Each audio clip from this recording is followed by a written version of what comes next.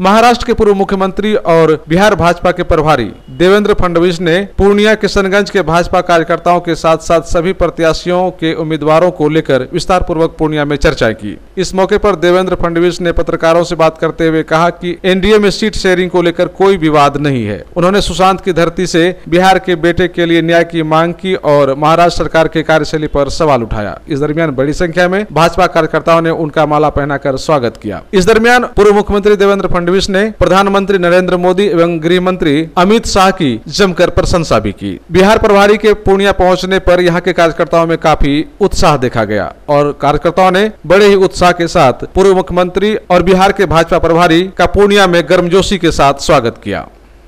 तो देखिए, सुशांत सिंह राजपूत, ये केवल बिहार के बेटे नहीं है, पूरे भारत के बेटे हैं। क्योंकि भारत का जो आम नागरिक है, वो ये मानता है कि यहाँ से गया हुआ युवा, जिस प्रकार से उसने वहाँ पर अपनी पैठ जमाई, जिस प्रकार से लोगों के मन में उसने अपना घर बसाया तो लोग ये मानते हैं कि उनकी जो मौत हुई है और मौत के बाद जो शंका और संशय तैयार हुआ है, किसी भी तरीके से सच बाहर आना चाहिए। शुरुआत में महाराष्ट्र पुलिस इसकी जाँच कर रही थी। वो अगर सही दिशा में जाती तो शायद सुप्रीम कोर्ट को उसमें पहल करके जाँच को सीबीआई को नहीं देना पड़ता। पर अब जाँच सीबीआई के पास है एनसीबी के पास है और ईडी के पास है। एक सही दिशा में वो जा रहे ऐसा दिख रहा सच बाहर आएगा। और हमारा मानना यह है कि जब तक सुशांत सिंह राजपूत इनको न्याय नहीं मिलता, जब तक उनकी मौत का सच बाहर नहीं आता तब तक भारतीय जनता पार्टी और भारत के जन जन के मन में हम उनको खामोश नहीं कर सकते। ये सच बाहर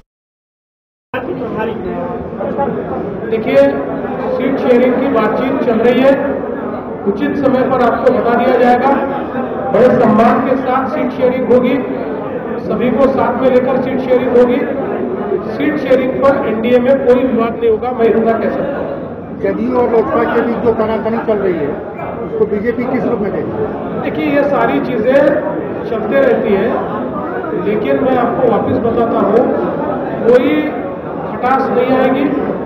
बिल्कुल सभी का समाधान करते हुए हम लोग सीटों का बंटवारा कर पाएँगे और एनडीए से कोई बाहर नहीं जाएगा।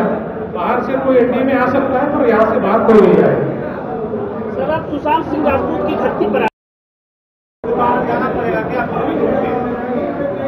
किसी को बाहर नहीं जाना पड़ेगा।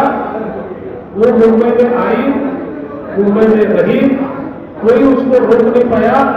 भारत का संविधान जिनको रहने की इजाज़त देता है, ऐसे किसी को बाहर नहीं निकाला जाता।